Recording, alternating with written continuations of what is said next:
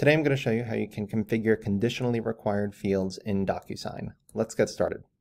My name is Tom Kalinowski. I'm the Director of Technology and Operations at IU20. Today is October 22nd, 2021, and this is episode number 87 of Tech Tips.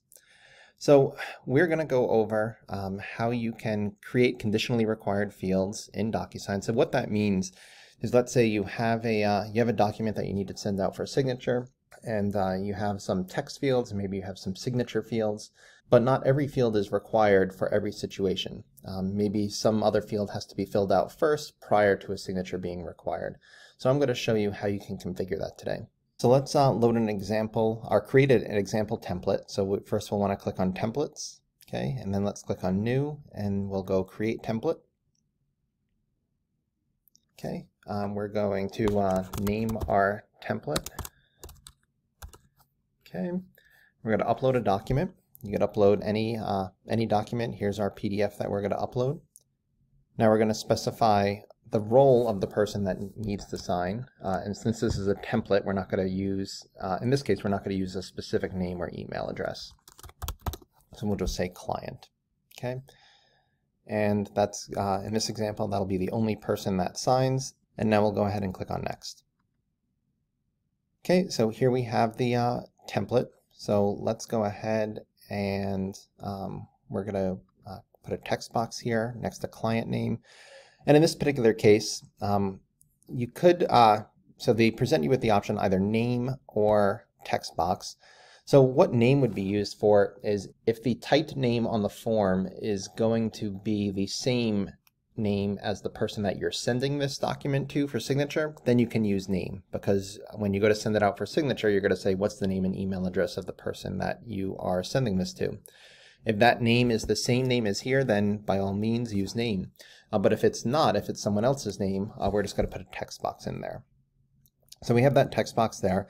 And we're going to say it's read only. And the reason why we're going to say it's read only is because uh, the document initiator is going to fill that out rather than the client themselves. Okay. And the same thing uh, for the client uh, insurance number. We're going to put that there and we're going to say that's read only. All right. So we're getting a little closer here. So these fields we're going to fill in. Now for this particular form, uh, it says it's an encounter form. So what that means is uh, maybe there was a meeting on this date and this date, um, but we don't want to have to every time we send this out, put a field in here for staff signature, staff signature, staff signature, etc. Ideally, we'd like to set those all up ahead of time and only require these signatures if there is a date here. So that's what I'm going to show you how to do. Okay, so let's take another text field and we'll uh, put it right here. Okay, got that. And again, we're going to say this is read only because we're going to fill this out, not the client. Okay, and we're going to scroll down here and we're going to go to validation. Okay. And we're going to say, let's make sure that this is a date. Perfect. Okay. And now let's just copy and paste that. You could do like control C, control V, and just put those all in there. Okay. Uh, four of them is good for now. Now, a little trick here, if we highlight all of them, You'll see on the left uh, or on the right here, um, it says we can align them left, right, top, bottom. So let's just go left. That'll make them all nice and neat there. Okay. And now let's put in, uh, oh, before we do that, hold on, let's go back here. Uh, and we did. Okay, so those are uh, read-only. Perfect. All right. So now let's go put some signature fields in. Okay, let's click on that. And we're going to click here. Okay, it's required. Perfect. And we're gonna just copy this and paste that a couple of times. Same deal. Put that there, there. Okay, and let's make those neat again. So we'll select them all, click on the left. All right, so here is where we create the conditional requirement. Let me move my picture out of the way here. So we're gonna go ahead and click on the first date of service. Okay, and we're gonna scroll down and it's going to say conditional field. Let's go ahead and click on that. Let's click create rule.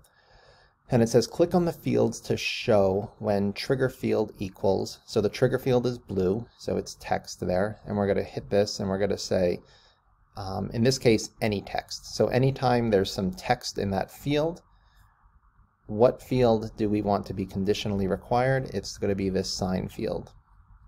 Okay, does that make sense? So if this is blank, okay, this is not going to be uh, required. But if there's text in there, then it is going to be required. Okay, and let's click done. And we're going to do that for the next couple of them. So we click that next one, scroll down, conditionally uh, create rule, any text here, done. Okay, and we just have to do that a couple of more times. I'll speed it up here so you don't have to uh, watch me continually click.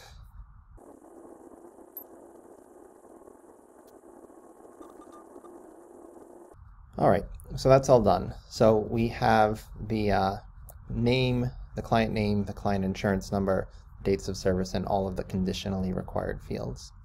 Okay, and let's go ahead and click on Save and Close. Okay, perfect. So we have this template. Uh, so now we're going to go ahead and use this template. So let's go ahead and click on Use. Okay, so who are we going to send this to? Um, we'll just send it to myself. Okay. We could put in a subject. We could put in an email message here. Um, before we hit send though, we want to go to advanced edit. And the reason why we want to go to advanced edit is we want to pre-populate that template uh, with a couple of, with some pieces of information. Okay, so let's go ahead and click on next. Okay, we have that here. Okay, so the client name, okay, the insurance number. Okay, and we're going to put in some uh, dates of service. Okay, so let's say uh, this is 10-1 or 2, 2021. Okay, and I should have made those fields just a little bit bigger. 10-3, 2021. Okay, and we're going to do one more. 10-4, 2021. Okay. And now the hope is, if we did this right, when we send this form, it's only going to require a signature on the top three rows here and not the remaining rows. Um, but the benefit of keeping all of those there, and ideally you would you would fill out this entire form uh, just in case uh, there were that many encounters, uh, but by filling those out all one time in the template, you'll never have to do it again, and then you can use this template for one encounter or up, up to 10 encounters, however many different rows there are in the form, uh, without having to make modifications every single time you send out a form. So let's switch over to uh, what the view is that the client sees. Okay, so the client's going to get a message like this. They're going to go ahead and click on Review Document. Okay, and it says please review and act on these documents. so they're going to go ahead and click on continue. Okay, and we see that the name's filled in already, as is the client insurance number, all the dates of service. There could have been other information here, right? And we only see signature fields for these three. Now in the background, when we all saw it, the signature fields were visible on all of them, but in this case they are not visible because we did not specify dates here. So to sign, again, we'll just click here and see my awesome signature. That's it. So that's how you go ahead and create a conditionally required signature. You can create uh, conditionally required anything really. You could create a conditionally required text field. Um, so maybe it says, um, uh, it asks you to answer a question with radio buttons, and it's like A, B, C, or other. And maybe you want to uh, say if they select other, then this text field is required. So that, that would be another use case of how you might use this. But I hope you found that tip valuable. If you have any other questions about DocuSign or anything else, I'll gladly do a uh, tech tip on that. I know the uh, IU20 staff are in the middle of switching over to DocuSign, so again, I'd be happy to do any other demonstrations of questions that you might have about DocuSign. That's all for today. I hope you have a great weekend.